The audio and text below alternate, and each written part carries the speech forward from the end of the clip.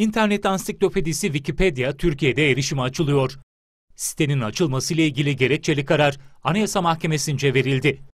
Anayasa Mahkemesi oy çokluğu ve 6 üyenin karşı oy yazısıyla alınan kararı Ankara 1. Sulh Ceza Mahkemesi'ne de gönderdi.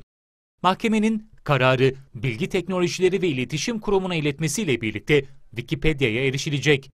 Hakimlik kararında internet sitesinin tümüne yönelik erişimin engellenmesi kararı onaylanmakla birlikte çıkarılması istenilen içeriklere internet sitesi tarafından erişimin engellenmesi halinde sitenin tümüne uygulanan erişimin engellenmesi kararının kaldırılacağı belirtilmiştir.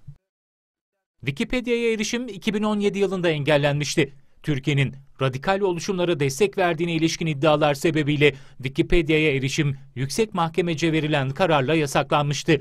Wikipedia yetkilileri bu tür içeriklerin sürekli olarak güncellendiğini ifade etti.